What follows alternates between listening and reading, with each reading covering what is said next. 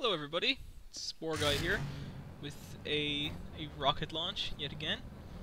Now you saw from the title, this is a recreation of, well, it's not, it hasn't actually happened yet, the uh, Bepi Colombo, um, the Bepi Colombo uh, Venus uh, mission.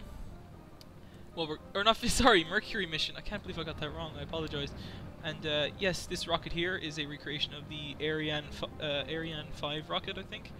Yep, Ariane 5. I think I'm pronouncing that right. And uh, I think I did a good job. I had to use one mod here, which was procedural fairings, to make sure it was, you know, it, it looked okay, because it, it wouldn't have looked properly otherwise. It wouldn't have looked very good otherwise. So the Bepi Colombo spacecraft is a, uh, yeah, sorry for the booster separation there. It's a bit dizzying. Anyway, the Bepi Colombo mission is as you saw from the start, the logo is a joint mission between um, the European Space Agency ESA and the Jap uh, Japan Aerospace Exploration Agency, or JAXA, which is quite a cool name. And they're going to it's going to Mercury. So um, what I've done is I've uh, put together this launch vehicle and the actual spacecraft from stock parts, except for procedural fairings. Um, the actual spacecraft has a couple of those on it to make it look decent. I didn't use no clip. It kind of looks like I used no clip, but I didn't. It just works like that. Anyway, so yeah, this spacecraft's going to Mercury, and uh, we're going to see what it looks like shortly. So this is the separation here of the stages. Oh yeah, I used KerbCam, uh, the KerbCam mod for this. And uh, yeah, here we go. So separating here, isn't it lovely? Separating away. Brilliant. Absolutely brilliant. Right. So it's named after um, Giuseppe, uh, Giuseppe Colombo, uh, who was a scientist, mathematician, and engineer at um, the University of Padua, Italy. And he was the first person to implement the uh, the gravity assist maneuver. So during the Mariner 10 mission, so it's used for all interplanet. It's used for most interplanetary probes now. So it's named after him. And yeah, you can see. Sorry, I missed it. The fairing uh, went off there. So this is Bepi Colombo. It's the best I could do to recreate what it looks like. I think a quick Google search will uh, show you that it's similar looking to this. It's not as big, I don't think. Um, it might be a bit smaller than the actual Bepi Colombo. But we're off to Moho instead of Mercury because, again, this is Kerbal Space Program, so the closest analog we have to Mercury is, of course, Moho. So, off we go to Moho, and I'll read you more. I'll tell. I'm not reading. I'm not reading anything. I'll tell you more about the uh, Bepi Colombo mission. Now, it, its components are... It's got three components. It has the Mercury transfer module, which you will see shortly. I actually I won't talk about it yet because I haven't shown most of it. So what I'm showing here is the transfer to Mercury. Now, I think the, the actual spacecraft would um would actually use its it, it uses ion engines. The actual spacecraft uses ion engines, so I use the Kerbal Space Program ones here. And uh, I don't think it would have used that chemical rocket there for the transfer, but I, uh, I don't know, I thought I would because I can't get it perfect, obviously. So off we go away from Kerbin. Oh, I love Kerbin, it's lovely. Blue marble in the sky. Green marble, oh, that would be jewel. Anyway, off we go. This, satellite dish isn't that big either, I just, um, I don't know, wanted to make it look a bit bigger.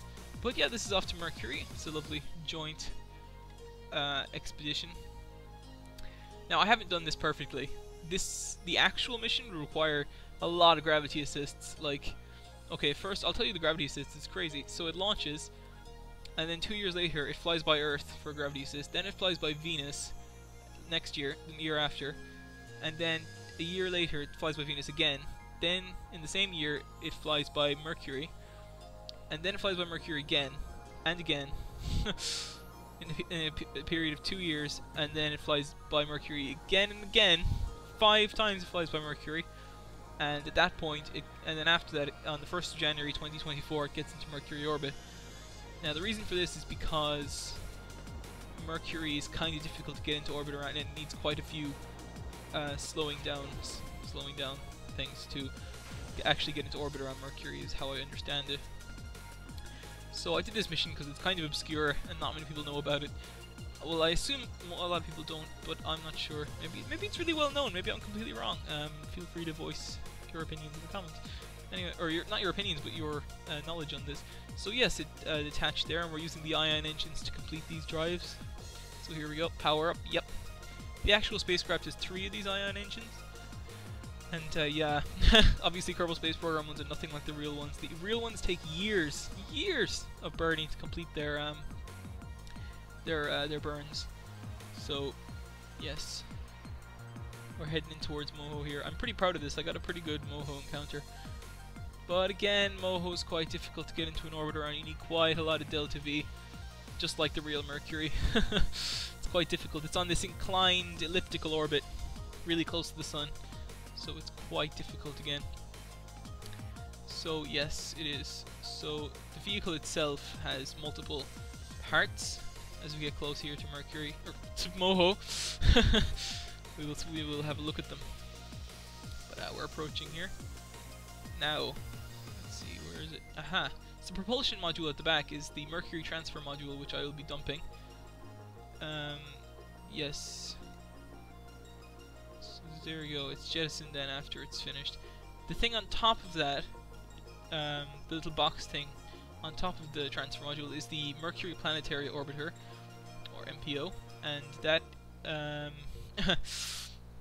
it has a radiator, and what it's there for is it's there for quite a quite a few things. And uh, yep, load of gamma ray spectrometers and X-ray spectrometers and radio science experiments and God knows all sorts of stuff on it. And inside that little fairing there, I'm not sure if you can see it, is the tiny little octagonal little thing called the Mercury Magnospheric Orbiter, and it's exactly what it sounds like. It uh, it analyzes Mercury's magnosphere using quite a few um, instruments, a lot of instruments and the mission was supposed to have a Mercury surface element, which was basically this tiny little, tiny, tiny lander. Uh, it was 0.9 meter disc, uh, diameter disc, and it was supposed to land on Mercury. I haven't included it here because it isn't in the actual mission, and because I, I actually, um, I don't know, I couldn't, I couldn't think of a way to make a spacecraft that small in Kerbal Space Program um, that would actually there we go, fly around Mercury a couple of times. So basically, we're gonna, we might lower this orbit, but what we're gonna do is we're gonna deposit the Mercury planetary orbiter in this huge, long orbit. So we're gonna detach. No, sorry, we're gonna um, the the Mercury magnospheric orbiter from that little fairing. There it goes into this very big elliptical orbit. So we'll spin it around and we'll, we'll um, open up its, uh, its booms. So, ah, there we go. Isn't it lovely? That's gonna stay there. All pretty. So now, switch to the to the main fella and move him around. Yep. And so we're gonna bring this fella into a lower orbit um, because it's not it's not measuring the magnosphere. So it can in fact be in a lower orbit um, just in order to actually measure it. So, so yes, it's going to, to measure. Yeah, so we've deposited the, the tiny lander there, which is always quite important. So yes, the other one's going to go into a very close orbit around Moho. I nearly said Mercury, but I didn't. Haha, good for me. So it's going to be on. Yes, this is. Yeah, I told. Yeah, it's a joint mission between ESA and JAXA So I think I'm pronouncing it right. I'm sorry about the pronunciations. I'm not the best at all the pronunciations. Um, off we go. So, we are now going to deposit the Mercury Planetary Orbiter, I think. Yes, the Mercury Planetary Orbiter. There we go. Off it goes.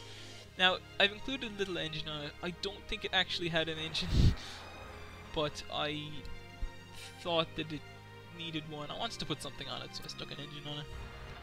So there we go. It's being it's drifting away there. Perfect. Away from the away from the Mercury transfer module. Moho transfer module. A Mercury. It doesn't matter because they're both begin with M. So so what we're going to do with this fella is we're going to deorbit him. Which I they don't actually do that in the real mission. It's just I really wanted to see something explode. So I'm surprised uh, this thing has a huge amounts of delta V. Like this could go to any planet, and it's really stable as well. I put a reaction wheel inside that little thing there and it seems to be working really well.